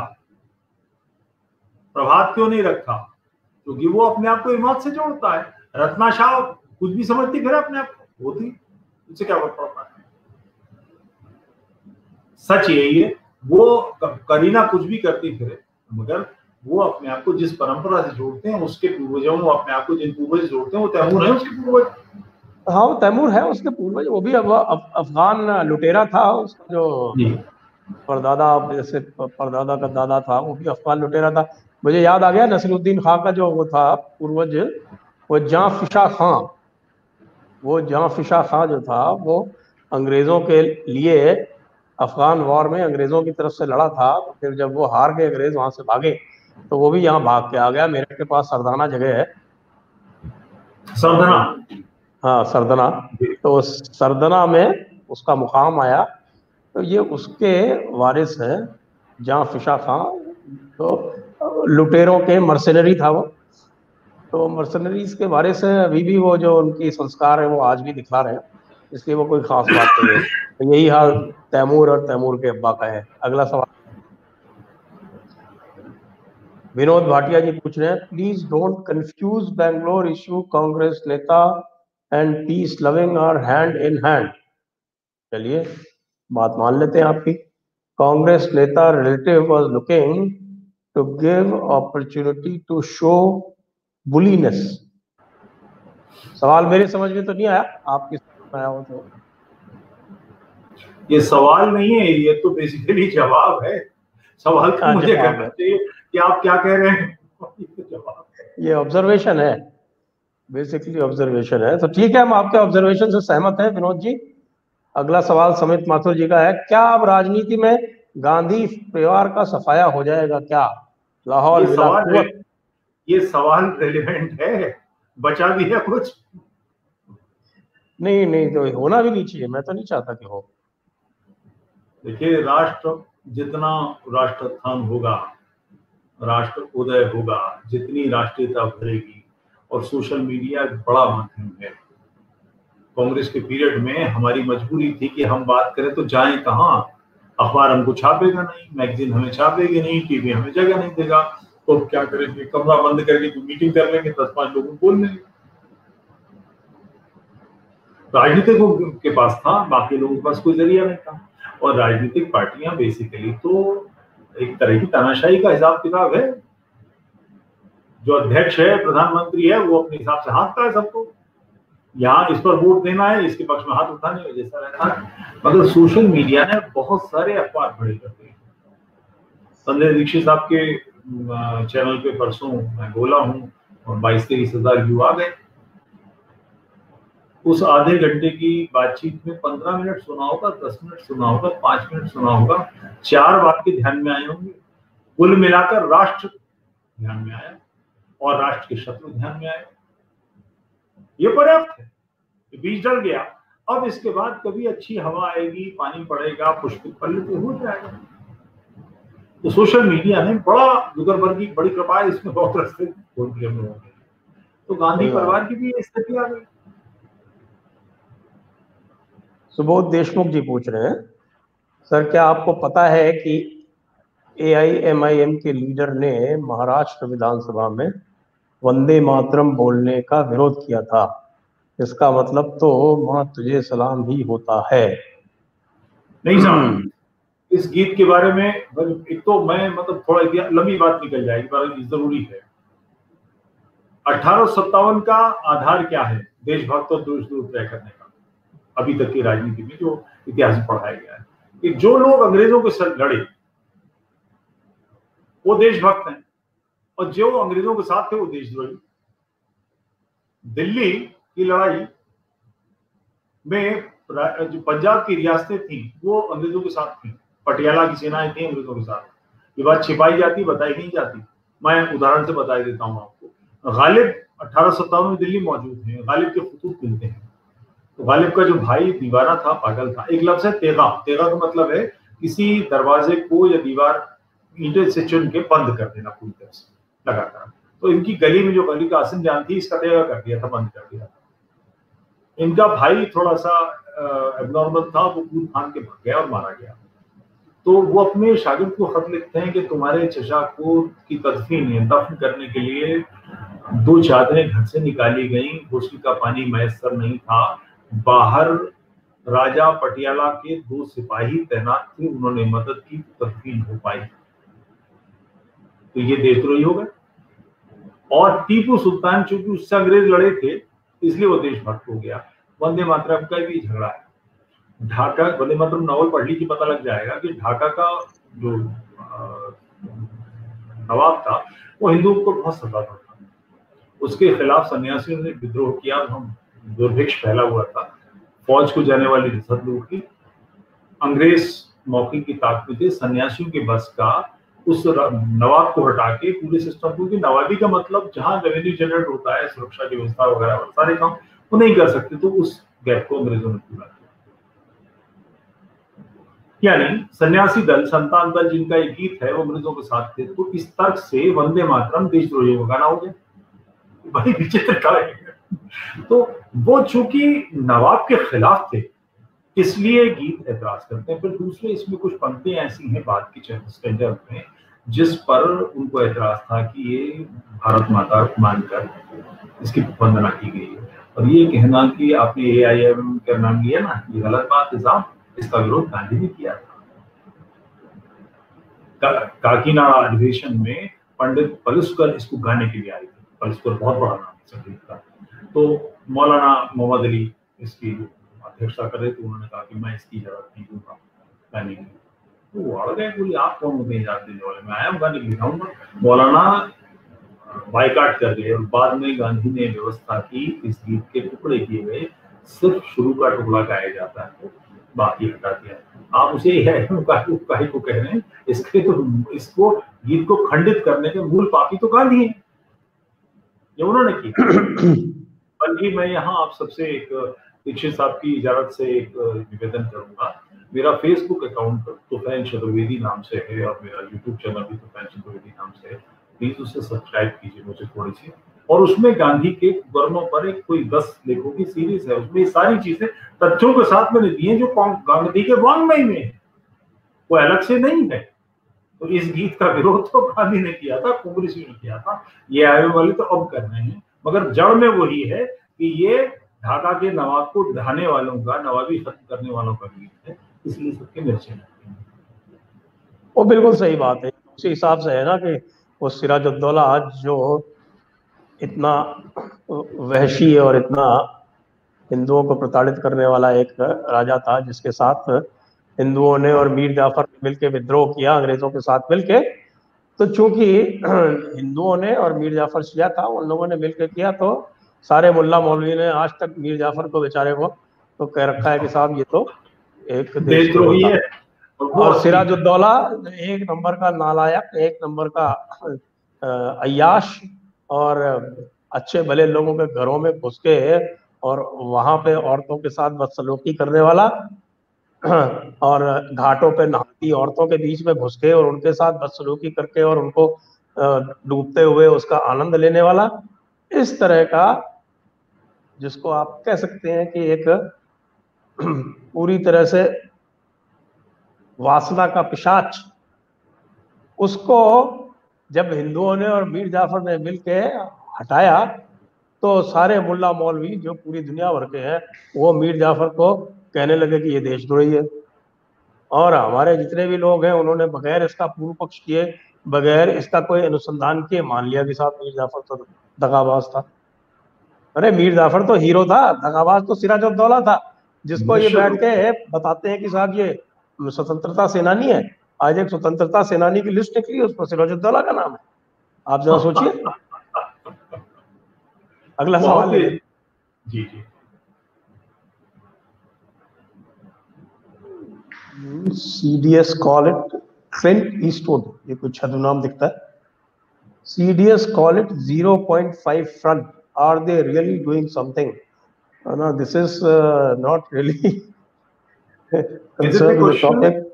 ये ये ये तो कोई मिलिट्री स्ट्रेटजी का क्वेश्चन पूछ रहे हैं। क्लिंट ईस्टवुड साहब हमारी समझ में नहीं आया। हम माफ़ी चाहते हैं। हम इस सवाल को समझ नहीं पाए। या तो आप इसको दोबारा क्लैरिफाई कर दें जब तक आखिरी सवाल हमारे सामने है। इसको हम जब तक बात करें तब तक या तो आप क्लैरिफाई कर दें कि आपका सवाल क्या है वरना हमारी समझ में नहीं आया। आ, हम हैंड्स अप करते हैं। विनोद भाटिया कहते हैं this is good example if one don't know own history Kareena's mother was from Sindh, Raja Dahir, and her son is Taimur, whose ancestors killed Raja Dahir. ये देखिए साहब आपकी हिस्ट्री बिल्कुल गलत सलत है। ये राजा की माँ के माँ के बारे में क्या? मैं एक मिनट में उनको थोड़ा क्लैरिफिकेशन कर दूँ। तैमूर तुर्क था और राजा दाहिर की लड़ाई अरबों से हुई थी। तो आप अरबों और तुर्कों और फारसियों में थोड़ा सा फ़र्क करना सीखिए। ये सवाल जो है आपका ये वाजिब नहीं है। ये ये तो तुफैल जी तक ले जाए बगैर मैं ही इसको क्लैरिफाई कर सकता हूँ। तो डीपीएस जादौन ने चलते चलते एक सवाल और पूछ लिया है कि अरब में तेल खत्म हो जाए तो जिहाद फंड पे लगाम लगेगी? अरब तो इसराइल के साथ मिल गया वैसे।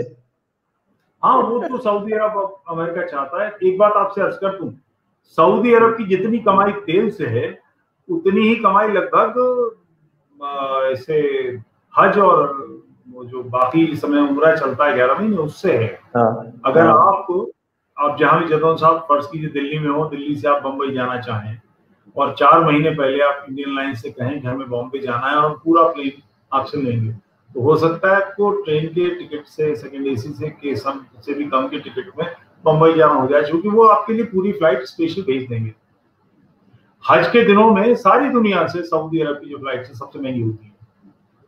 अच्छा किसी चीज़ को फिक्स करना अल्लाह का काम है, इसलिए हो सकता है एक दुकान पर दस रुपए की या रियाल में जो भी है वहाँ की पानी की बोतल मिल रही तो आपकी हो सकता बारह की मिले, तीन हो सकता नौ रुपए की मिले। वहाँ कोई प्राइस टैग नहीं लगता। जिसकी जो मर्ज़ी आया करे धींगा मुस्ती होती है। पैसा वाला मिजाज है तो उनके पास एक पूरा सिस्टम है। आप अपने आप, अपने बच्चे के लिए सोचते हैं कि वो पढ़े आप विकसित हो जाए पोता विकसित हो जाए। क्या करेंगे? राजनीति में लाएँगे एमएलए बना देंगे स्टेट में कुछ बना देंगे चीफ मिनिस्टर बना देंगे या एमपी बना देंगे या सी पीएम बना देंगे, वगैरह वगैरह आप कल्पना कीजिए उस व्यक्ति की जो ज़ाहिर था, बिल्कुल पढ़ा लिखा जिसे नहीं कहते, उसने अपनी औलादों के लिए सारी दुनिया के मुसलमानों को की वो खिदमत करने की ज़िम्मेदारी दे दी। उसने अपने इलाके को सारी दुनिया, जो बिल्कुल बेकार जगह जहाँ कुछ नहीं होता, सारी दुनिया का पैसा मोह लट के आता है। संसार के सारे बड़े टॉप होटल्स उनकी पूरी चेन है।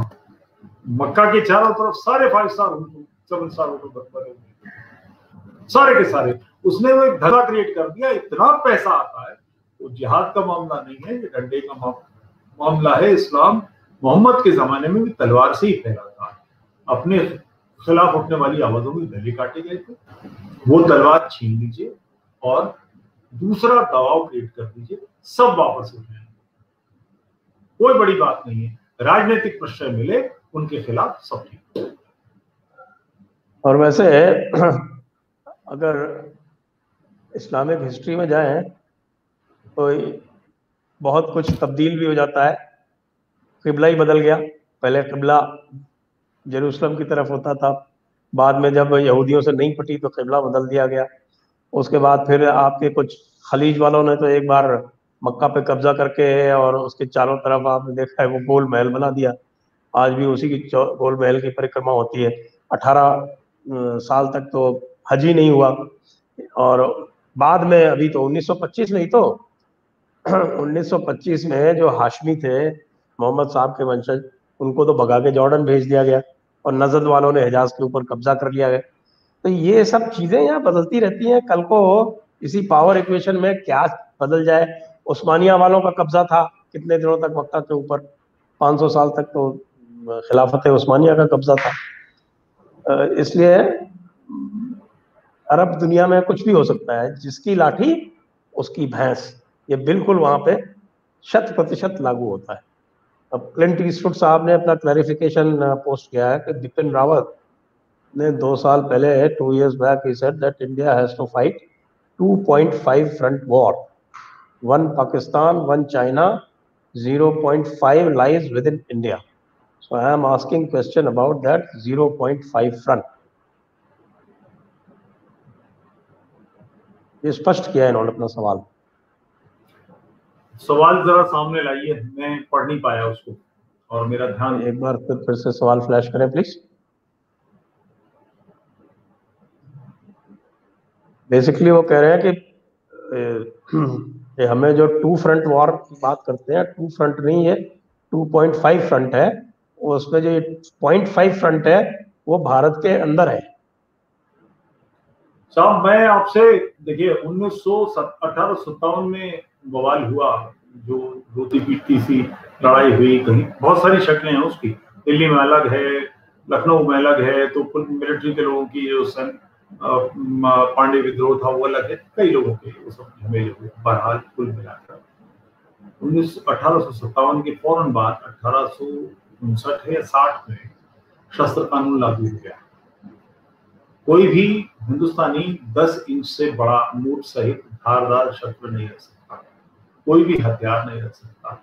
लाइसेंस के लिए आपको प्रशासन के पास जाना पड़ता है।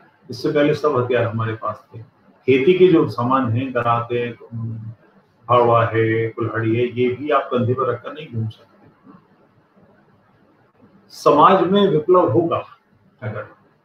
ये 2.5 जो आप जिसकी बात करें, उससे निपटने की तैयारी तो हो। हमारे पास उसकी तैयारी नहीं है। हम अपने घर में बढ़िया कारपेट्स रखेंगे, सोफे बिछाएँगे, पत्नी के लिए जूट लाएँगे, पश्मीना तूश के शॉल इकट्ठे करेंगे, और बढ़िया बढ़िया साड़ियाँ और चांदी के बर्तन, फलाना गाड़ी, या प्लॉट इनकी सुरक्षा की आवश्यकता पड़े तो हमारे पास क्या है? हम पुलिस के भरोसे अपने आप को मानते हैं। बीस करोड़ लोग और हमारे जो सारा सैन्य बल है, पूरी सेना पीएससी पुलिस आई आईटीबीपी, ये, वो सब मिला लीजिए, बीस लाख नहीं ये कम से कम बीस करोड़ है। जो, जिन, जो पोटेंशियल है आतंकवादी बनने के लिए, सब नहीं है, ऐसा नहीं कह रहा हूँ, बन सकते 200 लोग नारेबाजी करते, जिंदाबाद, मुर्दाबाद करते, गली के आग से निकले, पत्थर फेंकने शुरू कर दिए, जयपुर में होके चुका है। चार थाना क्षेत्रों में, ऐसे थाना क्षेत्र में कर्फ्यू लगाना पड़ गया। अब हमारे पास ना तो शस्त्र है, ना हमारी मनस्थिति अगर वो पैसा बचता है तो धोती गिन्नी खरीदते हैं। गिन्नी की रक्षा के लिए क्या वो कुछ है ही नहीं। पैसा करते हैं, नाखून बढ़ाते हैं और दांत बढ़ा लेते हैं। काट खाएँगे, नाखून से नोचेंगे पौरुष की अभिव्यक्ति शस्त्र से होती है। अपने आप को सन्नद्ध कीजिए। अपने आप को तैयार कैसे करेंगे, स्वयं सोचिए। मगर कीजिए, ज़रूर। ये फ्रंट आपके मेरे करने से होगा दूसरे से नहीं होगा। दो से सेना निपट लेगी पॉइंट फाइव जो वो हमारा काम है। इसके लिए तैयार होगी। इसका कोई विकल्प नहीं। विजयदशमी पर सही फरमाया आपने हमारा। विजयदशमी पर हम शस्त्र पूजा करते हैं मगर उस शस्त्र पूजा को हमने कलम और वो जो किचन का चाकू है उसकी पूजा बदल दिया। सब हमें तैयार होना पड़ेगा। और इसके लिए बहुत समय नहीं we are heading toward civil war तो इसकी इसकी तैयारी तो करनी पड़ेगी? स्वयं कीजिए, कैसे करेंगे, स्वयं देखिए। बिल्कुल सही आपने फरमाया। मैं भी आपसे इतफाक रखता हूँ कि तैयारी तो 0.5 की समाज को ही करनी पड़ेगी। समाज जो है वो पूरी तरह से ये नहीं कह सकता कि हर समय राज्य उसकी सुरक्षा के लिए उपस्थित रहेगा, ऐसा संभव नहीं है। ऐसा सम्यक रूप से संभव नहीं है। हर समाज को अपनी सुरक्षा के बारे में स्वयं सोचना तो पड़ता ही है। और राज्य उसके साथ है, इसमें कोई शक की बात नहीं, लेकिन राज्य सर्वव्यापी नहीं है। ये समझने की बात है। इसी के साथ हम अब अंतिम पड़ाव पे पहुँच गए हैं। मैं अपने सभी जितने भी हमारे व्यूअर्स हमारे साथ जुड़े हैं, उनको सबको धन्यवाद देना चाहूँगा। उनसे ये भी अनुरोध करूँगा कि जिन्होंने सब्सक्राइब नहीं किया है, कृपया सब्सक्राइब कर लें और इसका बेल आइकॉन भी दबा लें, जिससे जब भी कोई नया वीडियो आए तो उनको इसका नोटिफिकेशन भी मिल जाए। साथ ही मैं फैल जी का बहुत बहुत धन्यवाद करना चाहूँगा। आप हमारे साथ जुड़े और इसी के साथ मैं इस कार्यक्रम को यहीं पर विराम देता हूँ। बहुत बहुत धन्यवाद।